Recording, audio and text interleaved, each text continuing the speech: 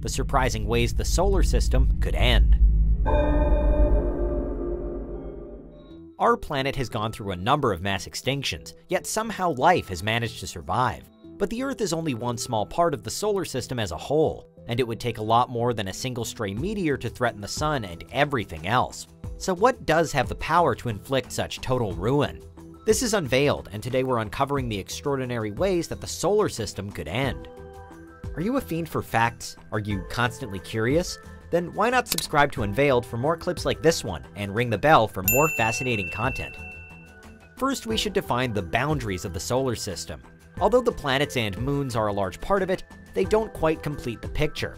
According to NASA, any object bound to our sun's gravity is part of our solar system. That means that all of the asteroids and comets, even as far out as the Oort cloud, are included, which significantly broadens the size of what we're talking about.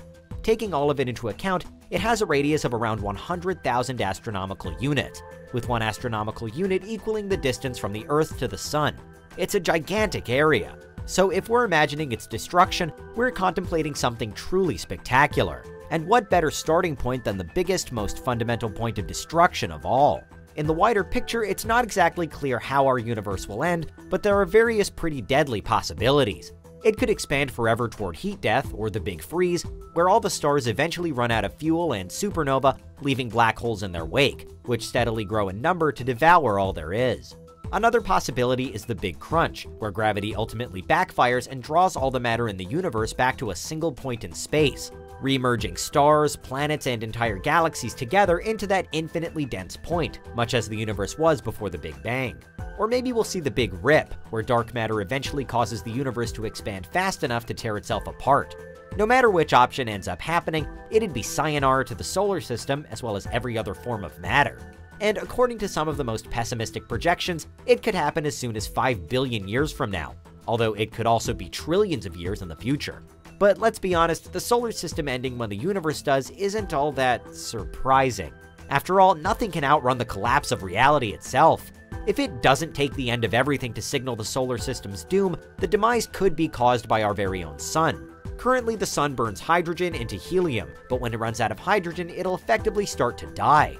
And when that happens, it'll no longer be able to hold on to its outer shell, which will continue expanding outwards, engulfing the planets that orbit closest to it in a fiery farewell. This is the red giant phase of our sun, and it's widely expected to happen in 4 to 5 billion years' time. When the sun goes red giant, it's believed that Mercury and Venus will be completely consumed, while the other planets, starting with Earth, are scorched to become hotter than ever before. Our sun isn't massive enough to go supernova and self-destruct at the end of its life, however. Instead, it'll eventually transform into a white dwarf, at which point the solar system will look completely different from what it does now. But there would still be a solar system of sorts to speak of. Even when the sun dies, there would still be something here. That said, just because our star isn't about to full on explode on us, we could, in the far, far future, will still find our little corner of space adversely affected by another star. Were a massive enough star to somehow drift to within 50 light years away from us, for example, and were it to go supernova, then that could have at least some consequences for us. The sheer energy could theoretically disrupt the orbits and general balance we enjoy, but failing that, the radiation might eventually fry our atmospheres. Of all the ways the solar system could end, though, this is probably the least likely to actually happen. But were something like it to happen, things could get worse still. The solar system could find itself caught in the crosshairs of what's known as a gamma ray burst. Thought to occur during high mass supernovae, they're a massive source of energy and among the most powerful explosions ever observed in the universe. They're so huge, in fact, it's said they can release more power in 10 seconds than the sun could in 10 billion years. A lot of incredibly unlikely and definitely surprising cosmological events have to happen between now and then for this to transpire, but in the midst of a gamma ray burst is definitely not where any solar system wants to be. Scale back just a little though, and there is something similarly massive that we do know really will occur in time. The galaxy that the solar system is a part of, the Milky Way, definitely is on a crash course with the closest galaxy to it, Andromeda, and possibly with a smaller Triangulum galaxy too. This monumental meeting in space is set to start in about 4.5 billion years' time, and when it happens, it could be quite the astronomical lottery. We're not so concerned about actual stars or planets colliding into one another because there's just too much empty space for that to happen all that often. What could be deadly, though, is the gravitational onslaught we'd experience when an entire galaxy crashes into and through our own. As Andromeda and the Milky Way weave together, the gravity exerted by each will continually pull both of them back together again. It's a repetitive process that we currently think will take about 1.5 billion years to complete. In the grand scheme of space, our solar system is small enough to possibly make it out alive, but it's also impossible to know for sure. If another star, a black hole, or anything with enough mass passes too close to us, it could snatch our planets, moons, and objects away, or else send them hurtling outwards into empty space. What was once the solar system could then find itself merging with the remnants of other systems, orbiting a totally different star under totally different conditions. And even if the solar system steers clear of anything quite like that, there are the supermassive black holes at the centers of both galaxies to consider.